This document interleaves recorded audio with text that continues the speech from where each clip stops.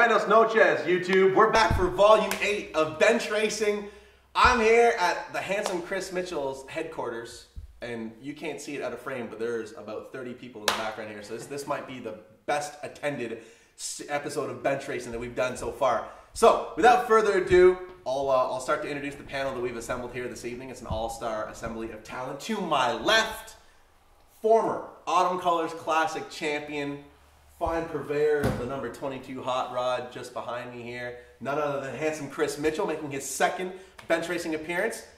Over on the end here, eight-time Kawartha Speedway track champion, two-time Autumn Colors Classic winner, four-time appearance or four appearances, I should say, to his record at the loaded ACT Invitational at New Hampshire Motor Speedway. Is none other than old school Dan McHattie making his first appearance on bench racing. And to my right, the innovator of the OSCAAR Modified Tour Beard Wars. He catches cruise missiles with his bare hands.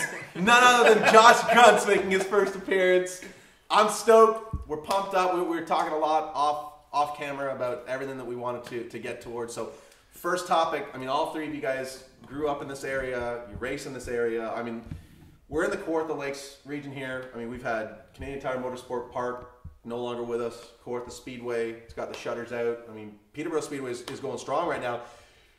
To put it lightly, the landscape around here has changed dramatically in the last year. I mean, I'd love to hear you guys weigh in on that. Let's start with you, Chris.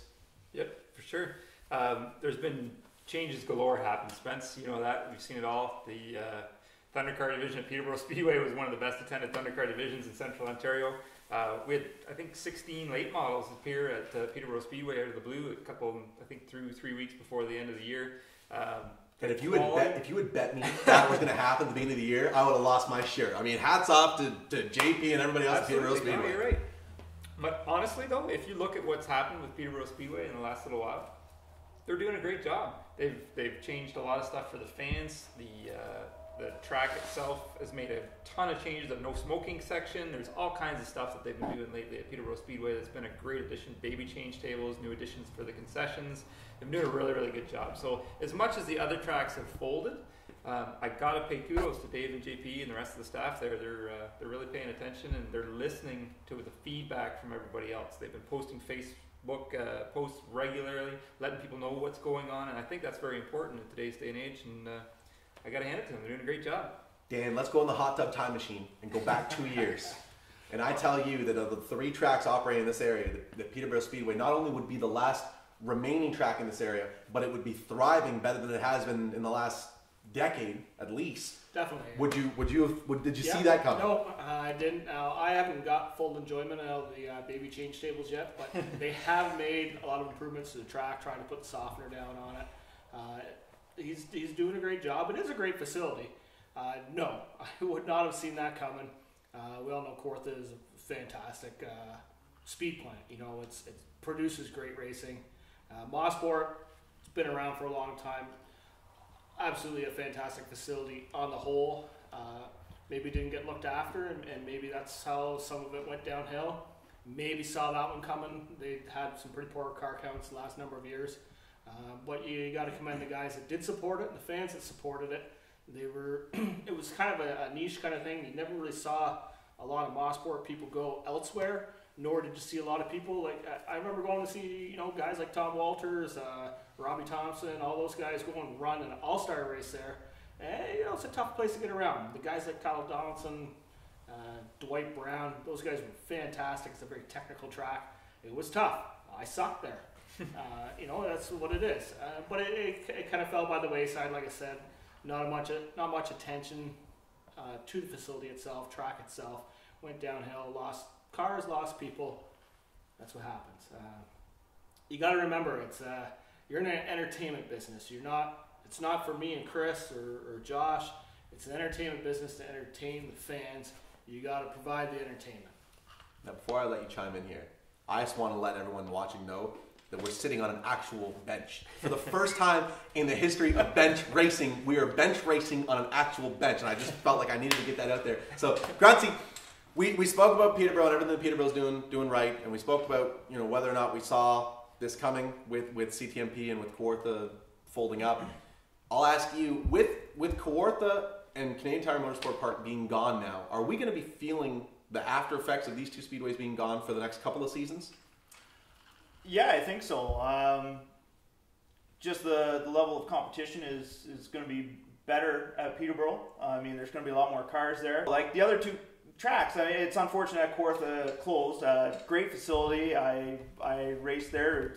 It's awesome. I like it. I still like it. It's the best track. You know, there's only a couple races there a year now, or well, two this year. But um, Mosport was uh, or CMPT uh, was I, I there a miss couple the name times. Mosport. I really do. I miss Mo- Mosport. Just rolled off the tongue. Mosport, Mosport, whatever. It's just It so much was, easier. Uh, I ran there a couple times with the Thunder car. And, yeah, it was fun. I ran there with the mod too. So I mean, it, again, it's it's got its own thing. I mean, Quarth is good. I like it a lot. But Peterborough, I mean, it's it's the last one. It's around. So what are you? It's it's Suck what it it up. is. So I Suck it mean, up to go race there. you, Go you gotta go. go You- get it- familiar. It's good. It's good. You get you turn lots of laps there. It's gonna be it, or it is competitive. All the classes are. You look at the Thunder cars. Like I mean, they had uh, 16, 17 cars out at the end of the year. And a good division. There was a lot of talent at the Peterborough Speedway Thundercars class. Absolutely. Absolutely. So um, you know, Matt Spence, Donnie Beatty, um, all the guys are Stu running good. Robinson running there. Yeah, yeah, absolutely. Yeah, Stewie Robinson Jr. Yeah. So Were you guys surprised at how few former Kawartha regulars found a new home track this year? I mean, there was. I mean, you raced at Peterborough, but it, it, you couldn't really call it your home track. You, you, you dabbled at Peterborough. Brian Mercer was up there a couple of times. I think Ryan Kimmel might have had three starts around the province this year. Dwight Brown didn't race anywhere. No. Um, trying to think. I mean, the, the bottom line is uh, not a lot of Kawartha guys went elsewhere. I mean, there was a lot of equipment that stayed at home. Are were you surprised at that? And are we going to see the same thing with the former Mosport regulars? I, I think so, and I, I think to sadly say, I think it'll get worse. Um, I think with uh, speaking on behalf of the late models, a lot of guys were kind of in limbo because, you know, this kind of to start off with is a lot of people got to realize that with racing Ontario right now, you know, you've got this many cars and you're dividing it up into this many tracks. You've got to find a way to get this many cars to be able to race at all those tracks. And it's not really a promoter's problem, uh, not fully a promoter's problem, as it is the, the driver's problem too. And the drivers got to realize that it's no longer this is my track, these are my rules, we're letting you come in and race. And I think that that's kind of what it was with our guys, is finding a home to go race our cars and, and trying to mesh with the rule package that was already there.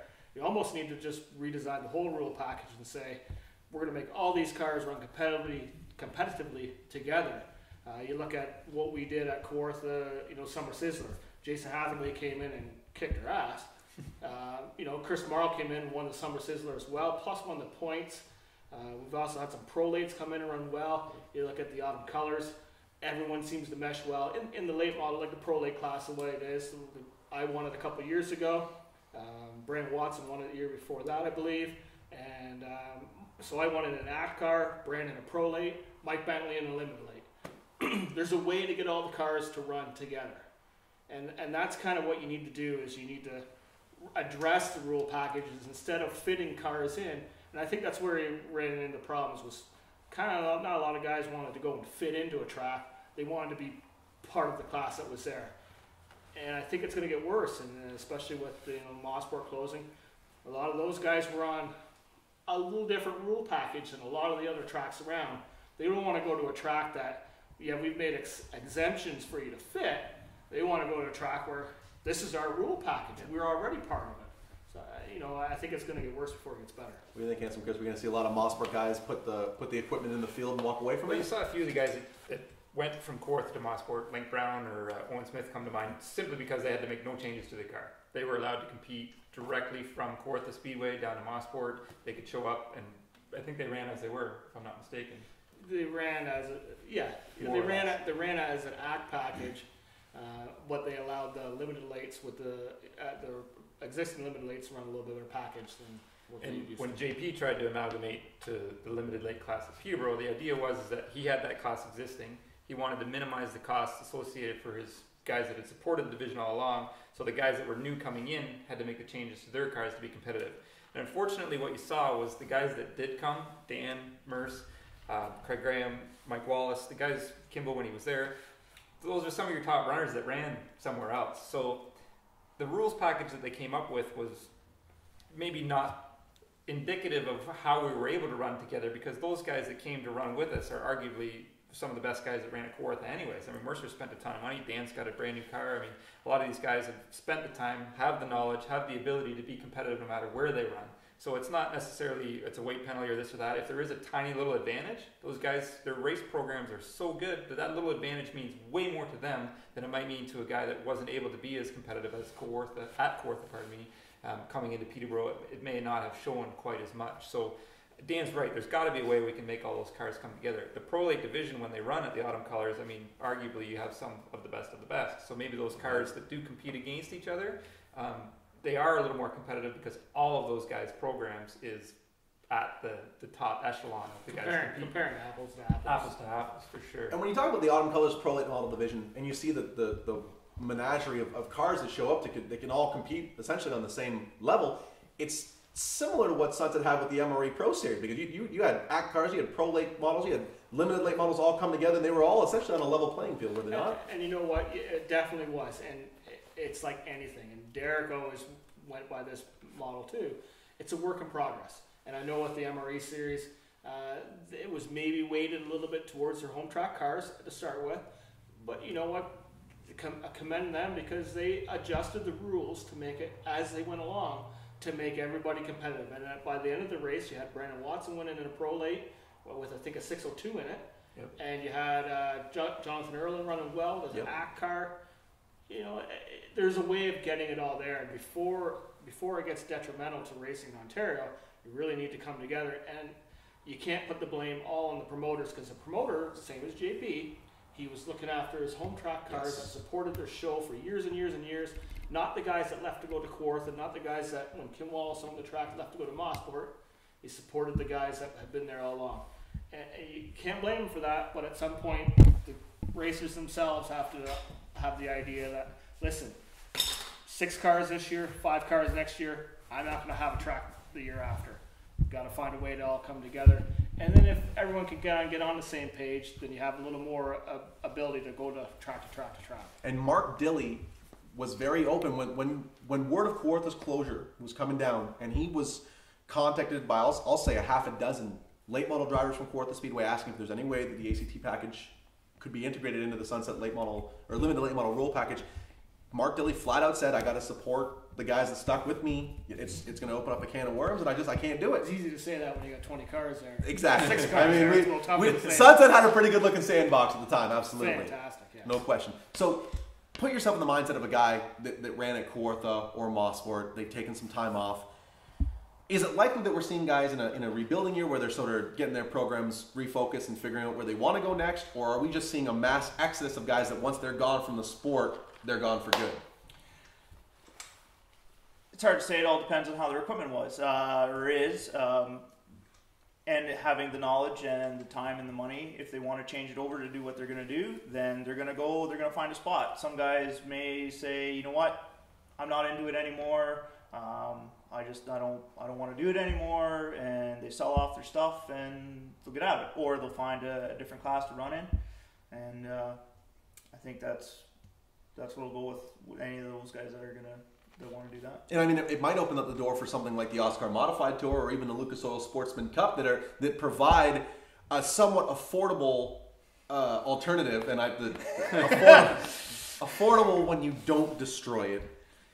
Alternative to running on a weekly basis. I mean, the, the Lucas Oil Sportsman Cup chassis can be had for, for very very cheap. They run a shortened schedule. It's not uh, it's not particularly expensive to get into. That could be an attractive uh, route for these guys. Absolutely, you could change the division if you want. Uh, you can run a mod. You could, you know, same thing. Lucas car, you can pick them up. Uh, I, you know, I don't want to put a price tag on anything good or bad, but I mean, um, versus something going to uh, Mike McCollum picking up a limited late model for 50 Gs. Exactly. So I mean, if you still want to do it, and that's fine, then you know your class is not really going to work out for you at the track that you're running at. You know, you can switch up, try something different. Uh, you can get into a touring series if you want. Try out some different tracks. You know, are you going to go to Varney on a re- on a weekly basis to run your limited late model? Um, not saying you're, you're you're not a part of that.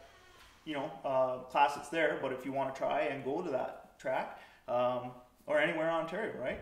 So I mean, you want to run up to Laird and try that? Sure, why not? Pack a lunch. I mean, because Sault Ste. Marie is far. It's real. I, I've yet to go to Sault Ste. Marie. I mean, it's it's eight hours, I think, something like that. So hats off to Mike Hardy and George Wilson and all the other uh, fellas that can that can make that haul. That's a little bit. a little- Congratulations to George on the big win. Also, congrats to George Wilson on the on the big memorial victory up there. I think he, he almost made it out without a scratch on the car. He had a small left there, I saw a scuff, picture, he had a little- but other than that, it was uh, it was almost uh, perfect looking. So shout out to George Wilson. He'll be back at the Sunset Speedway Velocity for you OSCAAR fans. He'll be back. Make sure you're there. Nice. We were ta- that was a nice plug, right?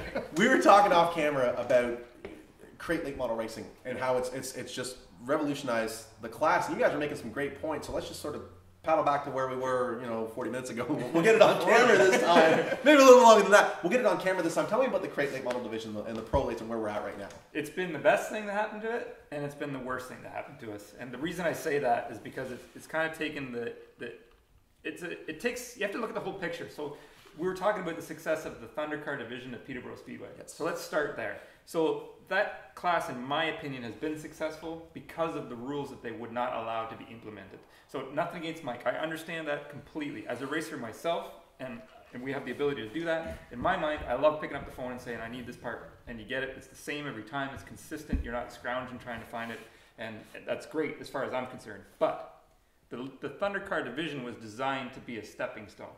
And when you all of a sudden have to spend fifteen, twenty thousand dollars, maybe even more, I don't know, that's on the low But- end, yeah. To get into a class that is supposed to be a stepping stone to a limited late, I mean, there's some great deals on limited late model cars out there right now to be had. Camera's car is a perfect example of that, where you could spend a third of what you would have to do to buy a competitive Thunder car in today's day and age, or street stock, whatever you want to call them.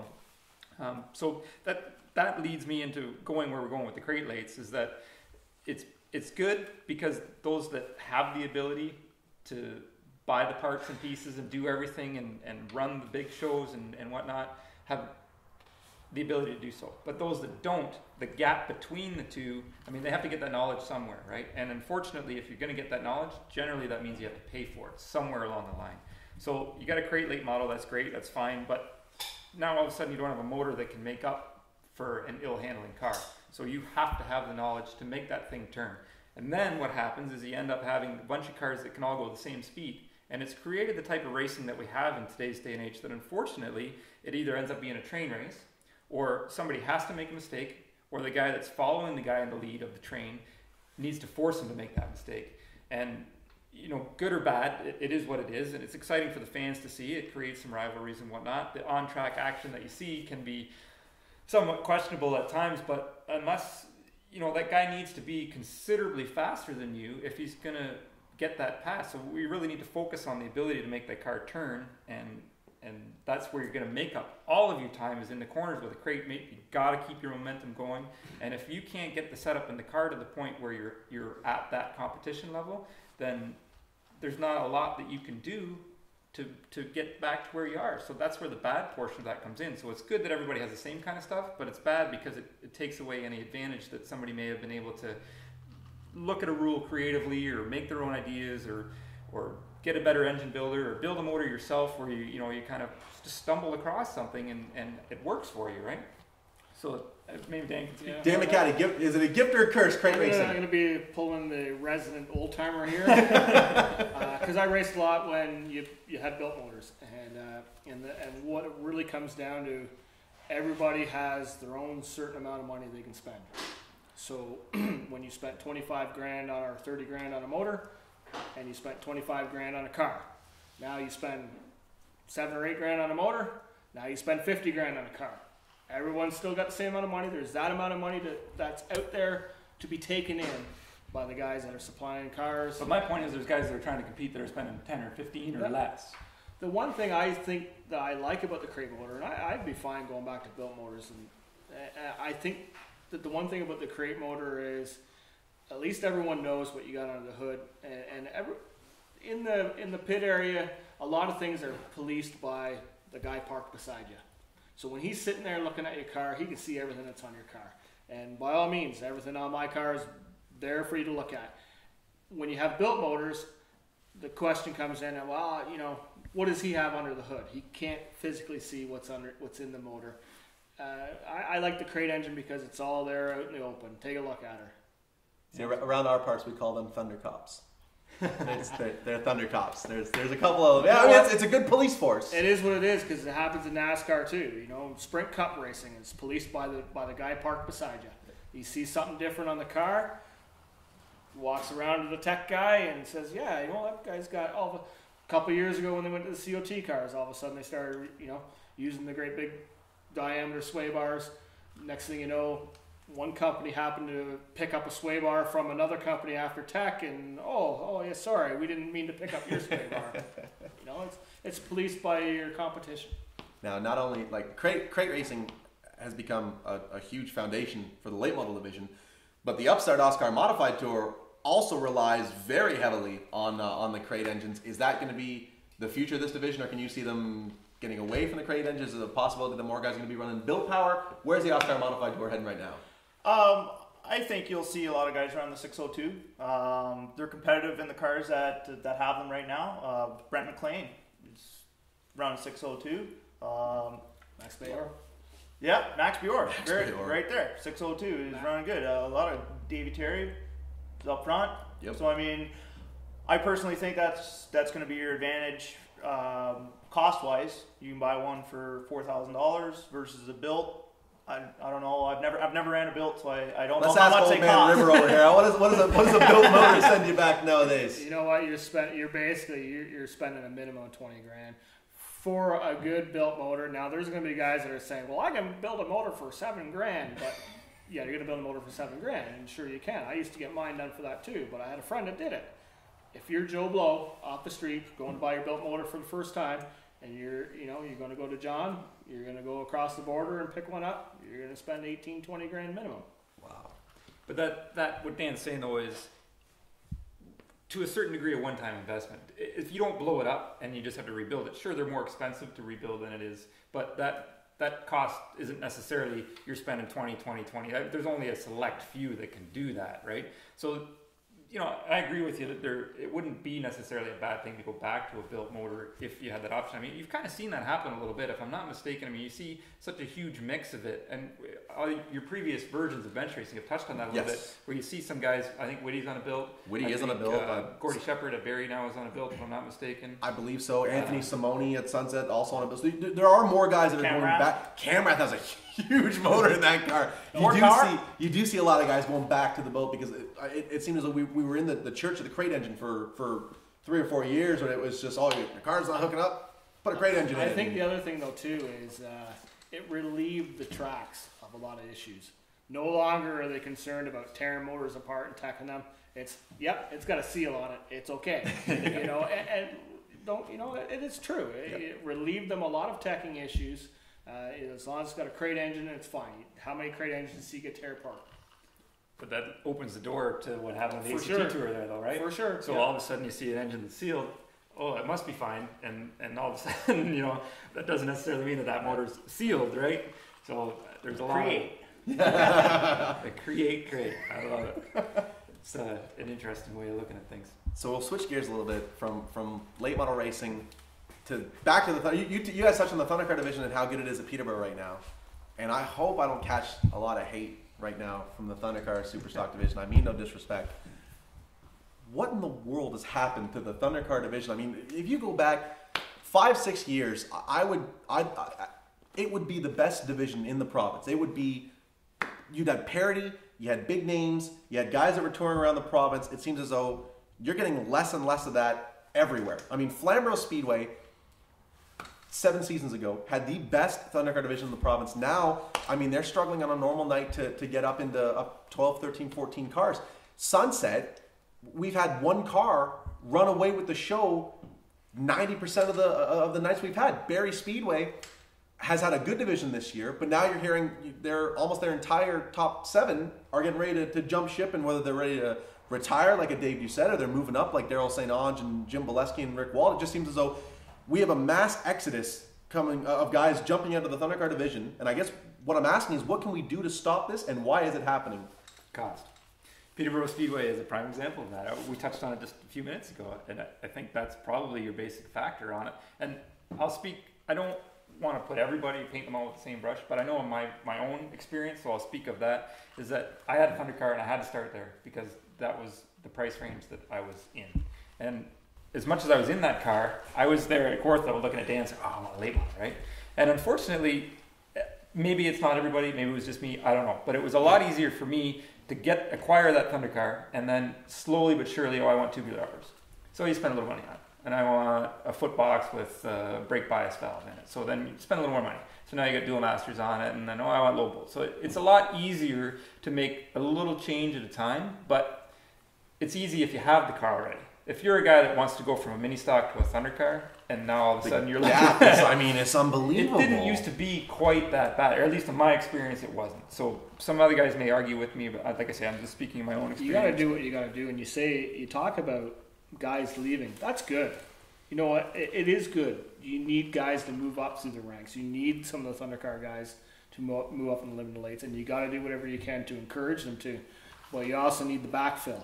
We really need to encourage some of these kids that are running the mini stocks, uh, help them out in any way possible. But you really need to encourage them to move up, and it's tough because it is a big step. It used to be a big step to you know to get from a, a late model, a pro late model, to a super late. You know, it's not as much anymore now that the super lates are having the seal, the you know the sealed engines uh, and stuff like that. But you Don't you think that in itself is the problem where you don't get that backfill? Because you look at a guy You that's moving from the Thunder car, he says, that's "Look, what I'm you spending do this to- anyways." you really gotta you really gotta encourage that. And I, I honestly don't know the answer to that. Yes, it is expensive to have a Thunder car, but at what point do you say, listen, you can't go out and get an 88 or an 85 Monte SS at the wreckers anymore? Yeah. At what point do you say, you know, our friend uh, Willie, for example, searches all over to find a Monte SS in someone's yard, pays 2,500 bucks because he needs the steel roof to run the Kimmel series. Yeah. At what point is a $1,700 fiberglass body better than the $2,500 roof? Fast time Willie Rhines, by the way. Shout outs. Come back to Ontario. That's right. We miss you. Come back. You were saying. but it, it, you know it, it is, and there's lots of guys that'll that'll that'll, that'll say, and uh, don't get me wrong, I'm not promoting one way or the other, but there's a lot of guys that have the means, have the opportunity, or they've got they'll say I got five Camaros in the backyard, I got the frames, or I know a guy who's got this and that. Okay, what if I came to you and say I need those five frames, and then it's well he doesn't want to get rid of them, he doesn't want to sell them, or it's tough to get those parts now. So at what point is it cheaper to fabricate a frame now? Don't you know nothing against Pike again. I don't think it's a good idea to say you can only buy these cars from certain people, because the way I grew up was learn how to build it yourself. So the, the, the McCall Racing Enterprise Thunder car, and uh, you guys are definitely going to shed more light on this than I ever could. I know for a fact, from what I know, there, there's there are two of them currently running in Ontario. Caden Lapsovich has one. Todd Davenport has the other. Um, Lapsovich has been a solid mid-pack car in it. Doesn't have a feature win yet. Uh, Todd Davenport has run a little bit better in his, but again, he hasn't been blowing the doors off of anyone. So it looks as though those cars right now on the surface are, are competing no different than Yeah. your normal, uh, you know, your, your traditional Thunder car or super stocks would. Is this new chassis a benefit to the division, or is it going to eventually make things a lot tougher on the guys running? I- I don't think so because let's say Josh wants to maybe part out his modified and uh, and decide he's going to run a Thunder car. You know how much of a how much does it cost him, labor and everything, to find a stock frame and build a Thunder car chassis out of that stock frame, stock panels and everything, than it is to buy a fabricated frame. And by all means, anyone who thinks that I'm a McCall car or, or someone else is going to have all these fancy tricks, you know, control arms in different places. I had a lot of friends over the years, 10 years of Thundercar racing, that we moved control arms around all over the Hell's Half Acre on the stock lip car I don't know what you're talking about. to get what you want out of the thing. It's already happening. It's already there. The guys that are it's it's a manipulation. It's been happening more than 10 years. It's been happening since 1990 when I ran Challenger cars and you weren't supposed to do it. It's, it's just a fact of the matter is, uh, but that's where I get to, you know, it's the same as the crate engines. when you have a certain person you can go to, and that's only you're limited to only one person, the price inches up a little bit. And again, I fully promote working in your shop at home with your dad. Build a car. There's an article in this month's Circle Track magazine that talks just about that a lot, where they they suggested a kit car might be an option.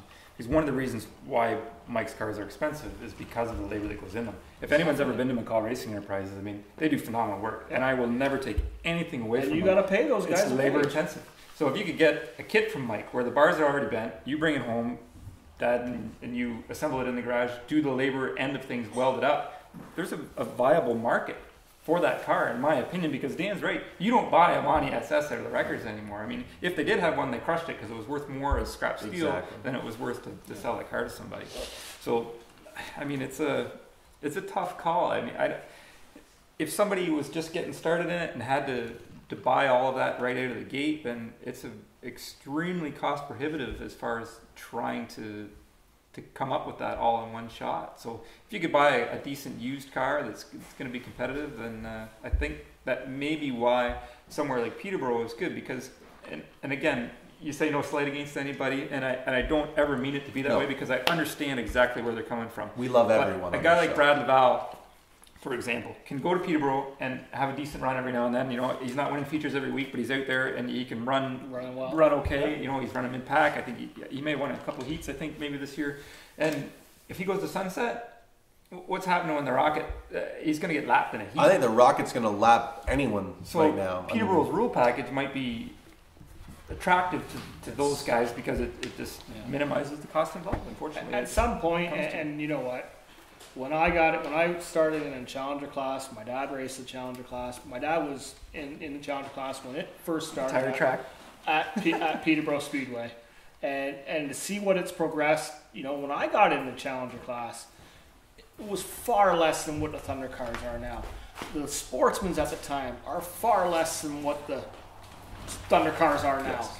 Uh, the Super Lates are less than what the Limited Lates are. It's in racing as well too, all over the country. It's progression in the class.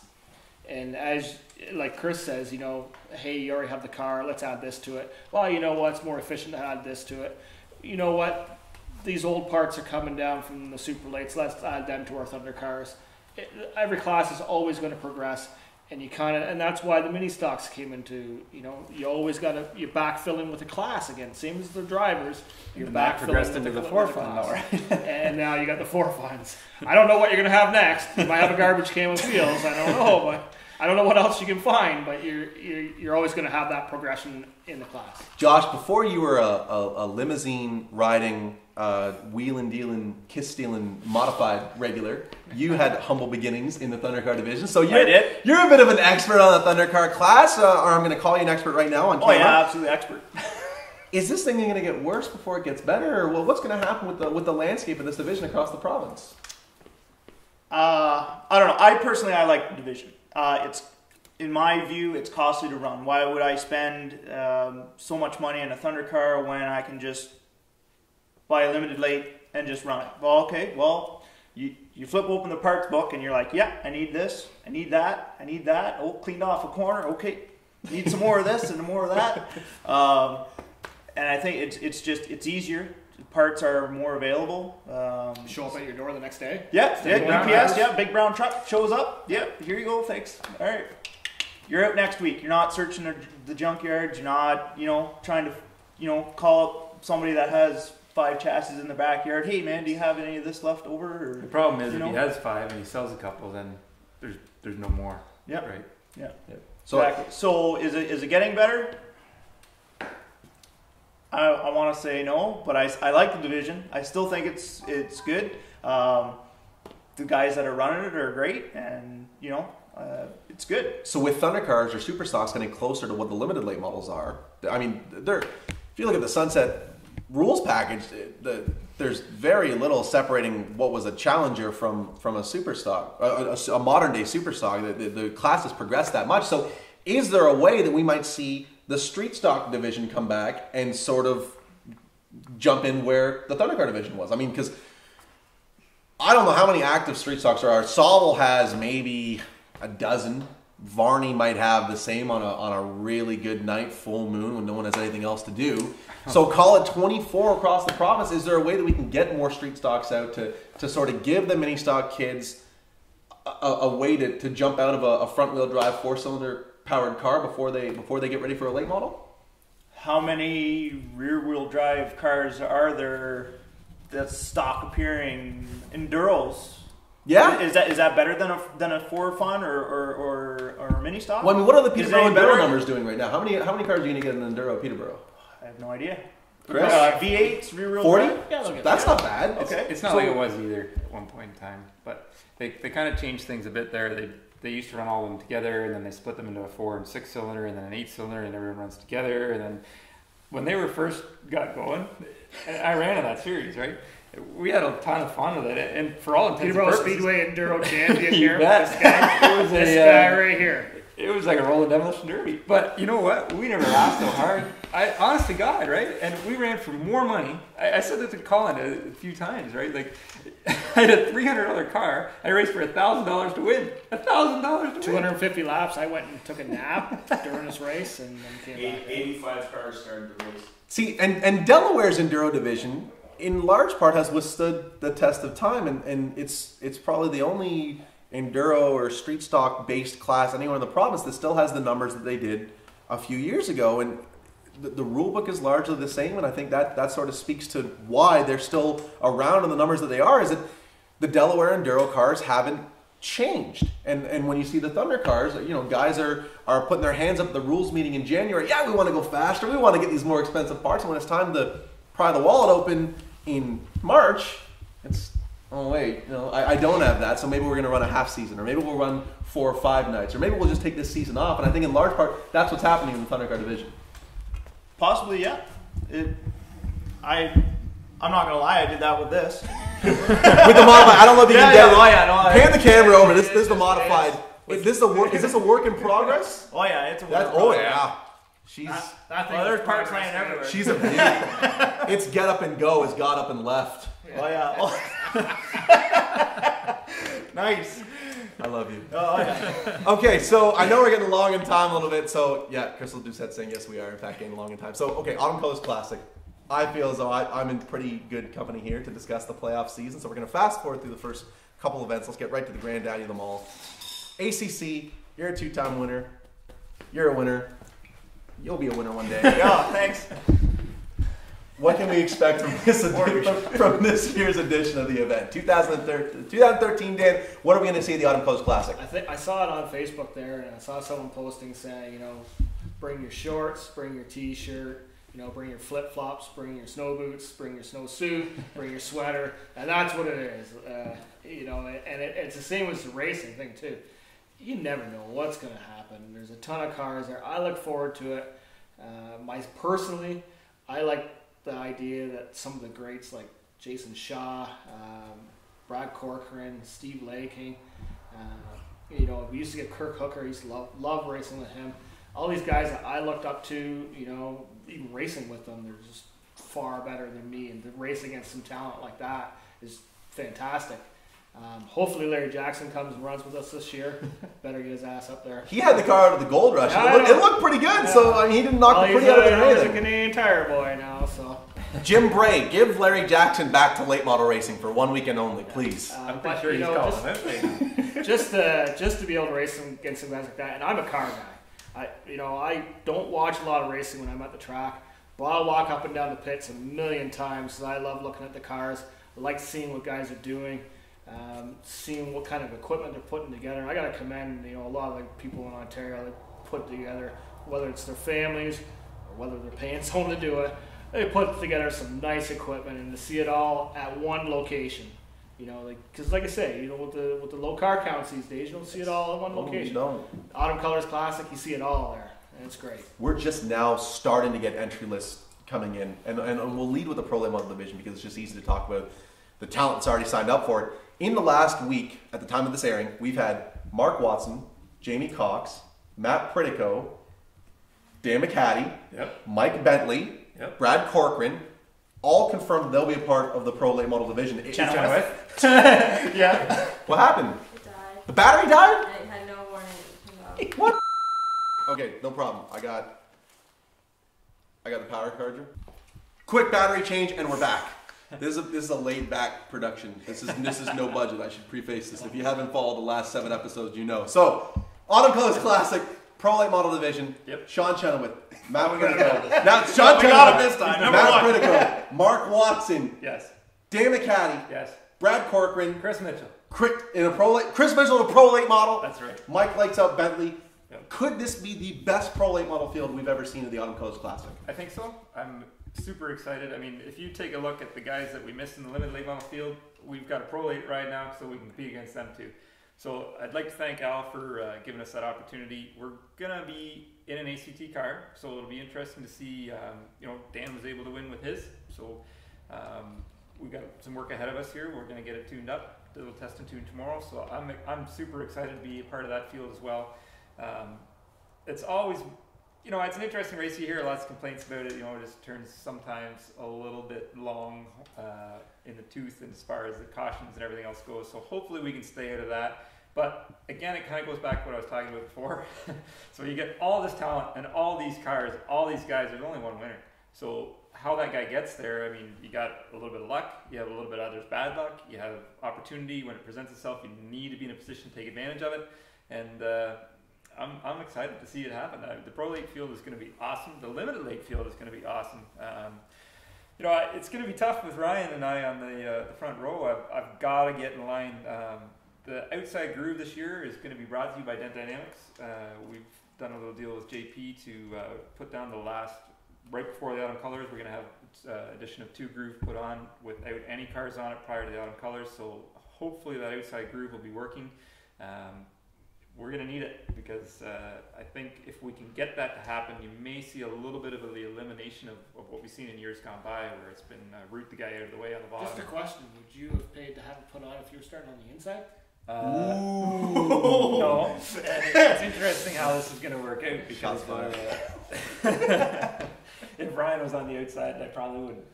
Anyways, I am, so that's the way it's going to go down. Uh, I'm excited to uh, get to get there. It's going to be a great show.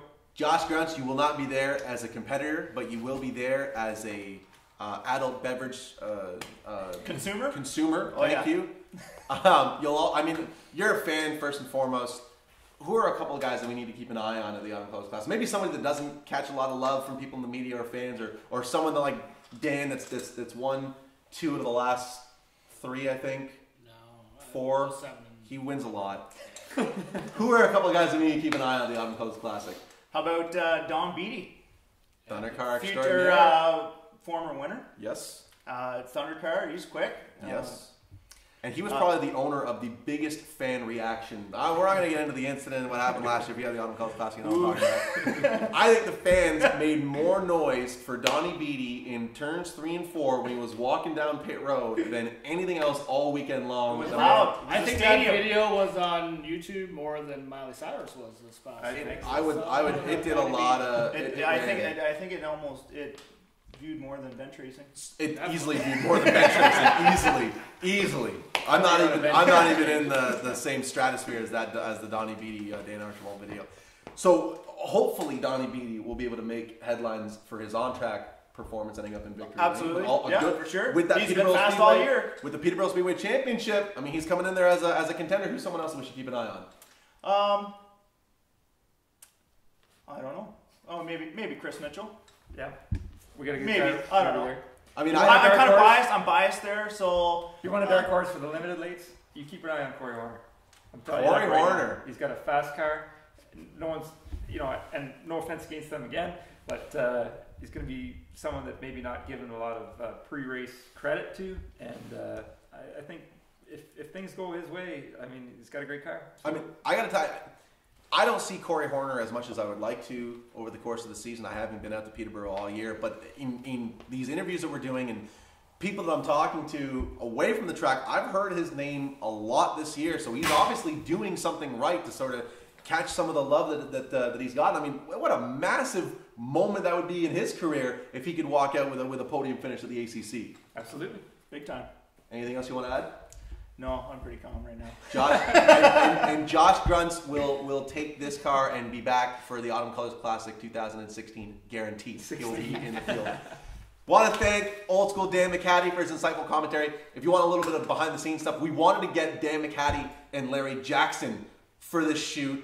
Larry couldn't make it due to work commitments, so Dan McHattie, the stud that he is, jumped up and, and said, you know, on, on zero days' notice, I'll be a part of the panel with uh, Chris Mitchell and Josh Grunt. So I think he really added a lot. We're going to get him on future episodes. Chris Mitchell came through like a star, second appearance. We'll probably have him back. Josh Gruntz, best beard on the panel, puts my facial hair to shame.